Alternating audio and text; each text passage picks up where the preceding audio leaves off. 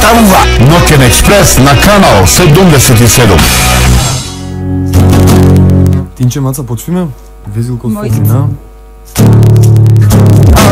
Твоја дома, била смасна љубов, те ледиш, сутка во се тегнеш, наспана гладна, Бараш да пуштам, ме гребиш и ме касаш, Ајде твоја дива, била смасна љубов, те дам да премиш, сутка на скуто, да се патава се тегнеш, наспана е гладна, Бараш да пуштам, ме гребиш и ме каса. Везелки, везелки, кажи како да се роди проста и строга македонска песна Како ленка, остави кошлатенка, мене најне да везе на рез Везелки, везелки, да кажи како да се роди проста и строга македонска песна. Како ленка, остави кошлатенка, мене најне да везе на рез Везелки, везелки, кажи како да се роди проста и строга македонска песна остави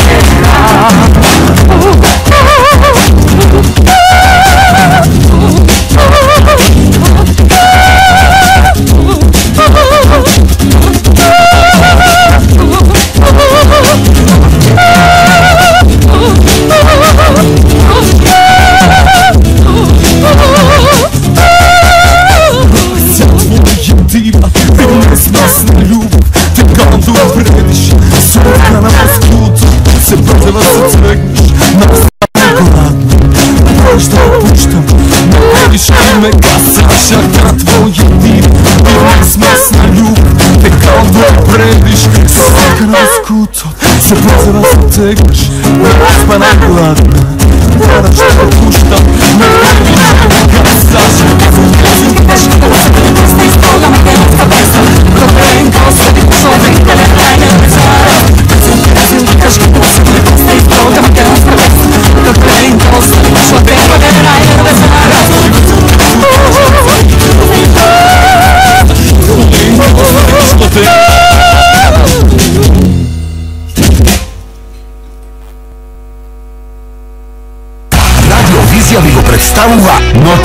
Нокен на канал 77.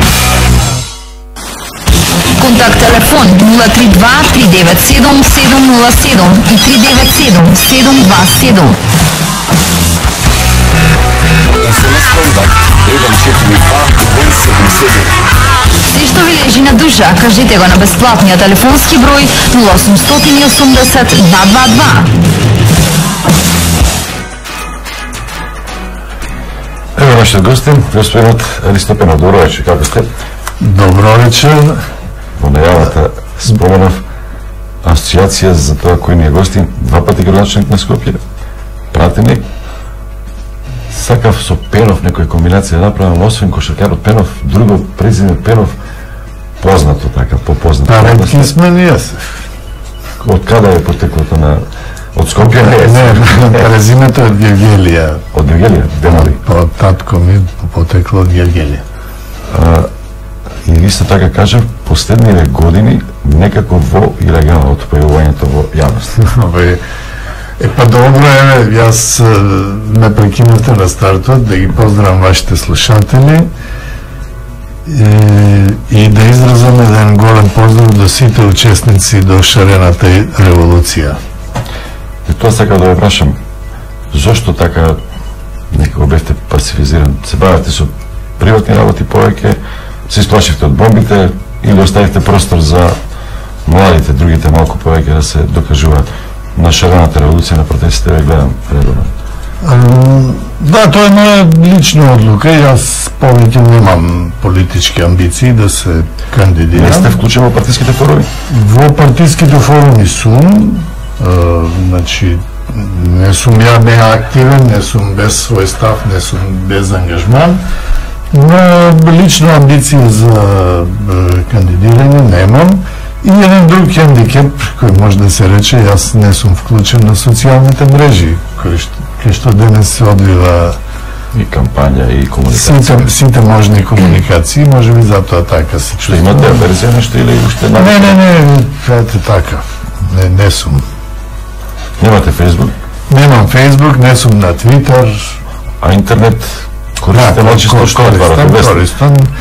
И да, ги следам порталите, ги следам случувањето нормално. Гледате Сите читате вечер И тоа не за жал, но односно не за жал, не, тоа е тоа не можам да го неколку пати со сила се обидувам еве нешто да видиш што што друга страна размислува, но не не се издржа, не може. Ви беше непријатно сигурно кои слушавте разговорите како ве одговара главниот уредник на Сител. За оговарање не се тужи или како е нема Добро, видите, они тужат и за такви работи, но што да му даваш внимание на тоа? Не, на, нели, еден во сите тие веќе застарени разговори околу бомбите, ама тоа биле разговори, не се случувало тоа што е од бомбите, јас да кажам дека тоа што се разговараше во тој разговор се случи, упадна кај мене. Аха, зборува за фирмите, дека Тешка луѓе, да, тоа треба да се инспекција, да. спречи, да се сопне Да, да, да, и тоа, тоа се случи. Влегува инспекција. Да, да, да, да. да. Значи се совпаѓа со тој период. Апсолутно, да, да. Значи не се крирани, Да, не, не се сечени лепени. не се крирани лечени. Во другите снимки немате информации, не сакате да во другите бомби, дали ве има, Па не, во други не сум. Не, не Јас не сум чисто вака, ви дава папка нема се ви само на новинарите. Не, и не сум ни побарал, не сум... Знаете како, тоа само може да те револтира, само да ти одзема внимание, да ти...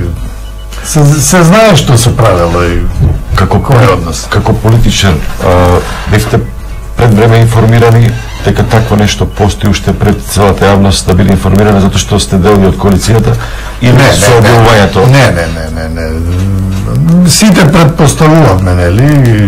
Беше вообичаено а не збори на телефон, но дека таков е обемот, дека такви димензии за тоа, не, не ни можев да предпоставам.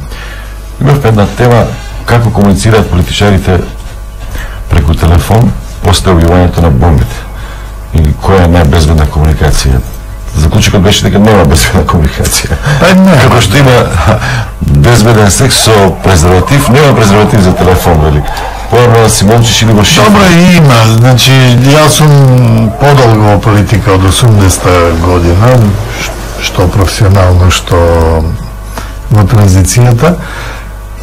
Уште тогаш се плашаа политичарите од слушање, некој пуштаа радио, некој Аха, добро разговара ке што тече вода или такви работи, но Не прави пречки, да да, да не се да не се снима. Но ја ја никогаш е, не сум После бомбите Не сум има нека психолошка така назнака која што Па има, има, знаете, кој ќе се, кога кој ќе се појави тоа, се подсетуваш дека нешто и си кажал, си Има направил. секој што зборува. да, Господин Пенов, два пати нели бевте градоначалник на Скопје. да. Има ли нешто сега што се каете или или еј зашто го направив тоа тогаш не требаше така или пак требаше тоа да го направам? Нешто што е копка, еве сега сте надвор од политиката, но има ли нешто што внатре ве, ве јаде, ве, ве копка? Не, не можам да речам нешто такво. Јас бев и, и се уште сум задоволен од след мандат. Мислам дека успеав да направам нешто што е над тогашните максимални можности. Сега можам да говорам ех да сум денес со овие пари, со овие Денеска што би направиле? ингеренции, е сега не можам да нели во во два збора не- Добро прашање што не би Да, направил. да, да. Но е, тогаш беше едно такво време сиромашно со буџет. е, Колку имавте Само, буџет? само за споредба да ви кажам дека сегашниот буџет на граначалникот на Скопје е 10 пати. Тогаш се почнуваше фискалната децентрализација. Не, не, не после мене започна. Со, Воопшто не беше почната. не беше почната. Сега е буџетот 10 пати поголем, ингеренциите се многу поголеми. Тогаш со урбанизмот ние немавме никакви допири. Земјиште не можете да. Земјиште воопшто. Практично немавме ни дозвола, никаква не подпишувавме во Скопје. Ние бевме надлежни да ги наплатиме комуналиите, за дозволите кои ги издаваше Министерство за транспорт и врски и со тоа да правиме улици, паркови и канализација. Толку. Кај улиците Илинденска ви остана после требаше да па имаше проблеми, еве Илинденска се направи. Илинденска. Испаѓа дека се пресудно е кој е на централна власт, на централно ниво, а Не, не, не, не, со не, не, значи, што беше кај, кај Илинденска, кај Илинденска граѓаните се побунија.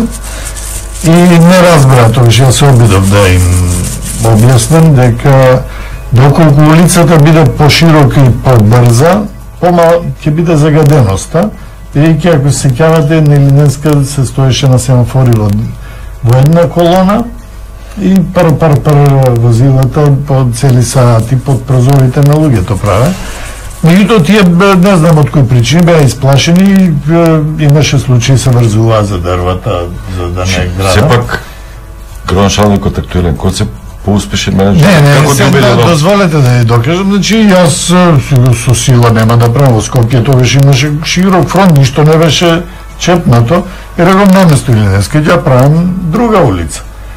А овде се покажа насилие со тоа ноќното сечење, со заканите врз граѓаните и така. Но сепак Илинеска требаше да се направи и добро. Реклами па се враќаме наш гостин Ристо Пенов, пораничен градоначалник на Скопје.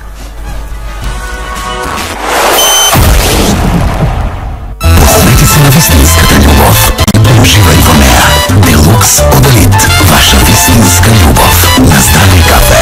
Све Турско Делукс.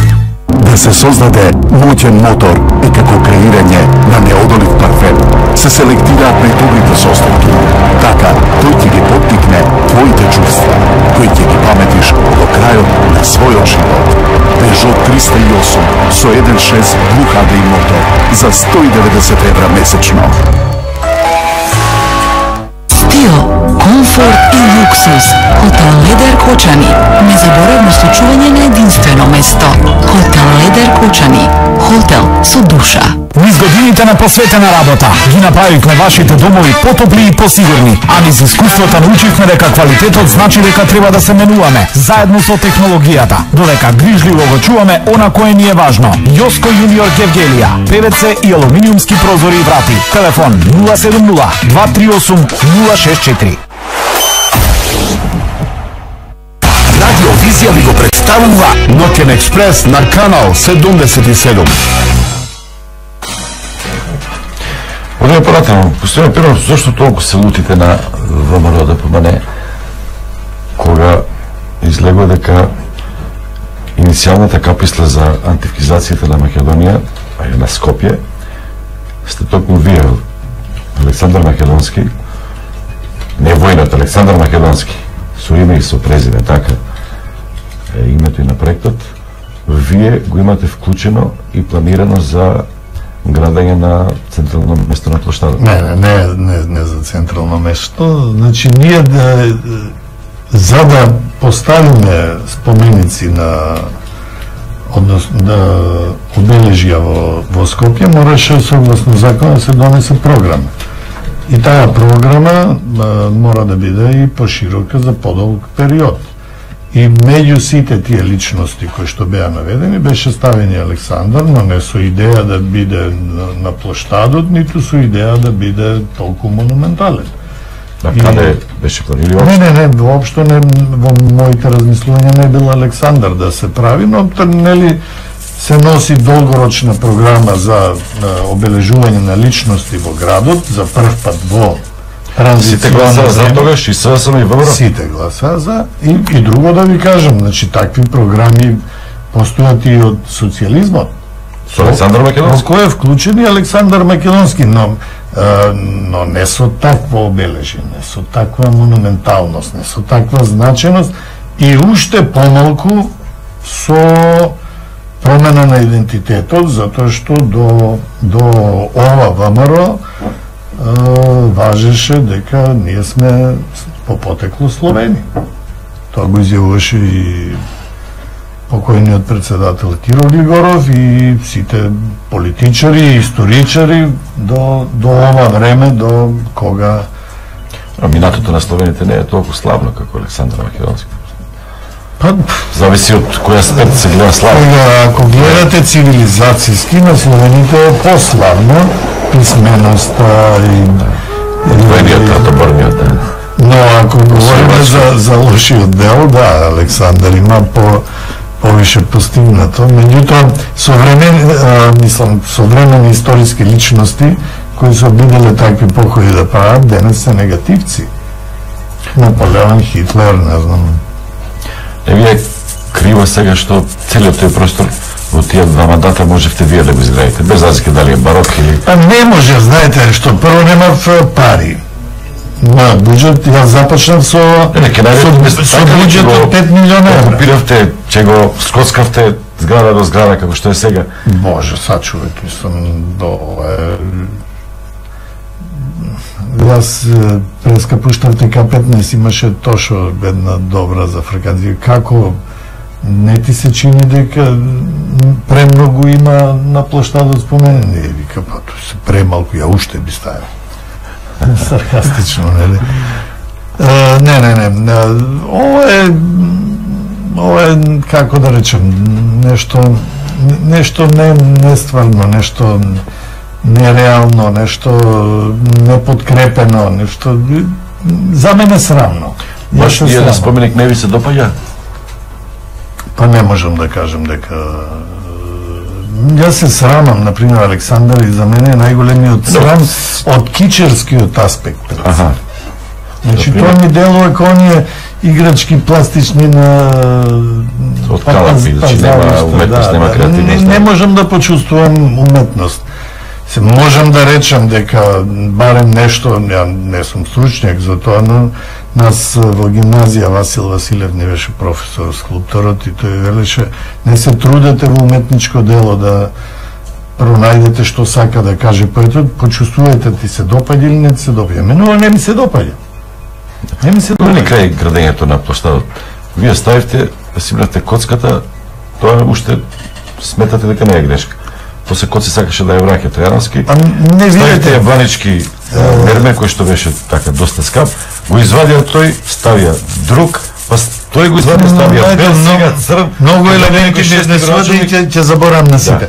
Значи јас целиот плоштад тоа што го направив 17,5 илјади квадрати поплочен со гранит јабланички чинеше милион и пол евра. Замисле, милион и пол евра. Што беше проблемот на коцката? Таа коцка не можеше да обстои. Е, Прво, е, плоштадот беше нерамен, не, несовремен, е, не од аспект на изглед, него ти можеше повторно да биде коцка, но можеше да биде нова коцка. Бидејќи таа не е адекватна за е, современите движења. Видите, и ние на запад кога одиме и гледаме е, коцка некаде. Не е таа старата коцка. Во Париз, Шанзелизе, ма сообраќајницата е е, тротоарот е Да, е, мермер, пак оне гранит. Но под коцката тие ги асфалтира улиците, ја направија и као украс ставија рамна коцка по која може да се движи. Нашата беше нерамна, значи таа не можеше да да, да, да се употребува на тој Има ли начин. градоначалник Скопје до сега Впрочем, за, за коцката, таа се уште постои во депото на градот Скопје и не доколку употребено, мислам дека е употребено. Јас употребив на неколку ситни места, но голем дел стои и доколку некој мислеше, можеше да ја презентира на овој площад. Има ли градоначалник во Скопје кој што на Скопје, кој што е изварен скопјанец? Мислам дека до сега не би изварен. Мислам роден во Скопје, во градското јадро или стар А мислам дека Скопје има и Трифун Костовски и, и Фуфо дека беа родени Фуфо беше Скопјани. поинаку, он беше председател на Да, не, не, не беше градоначалник. Да, не беше да, да, градоначалник. да. А Трифон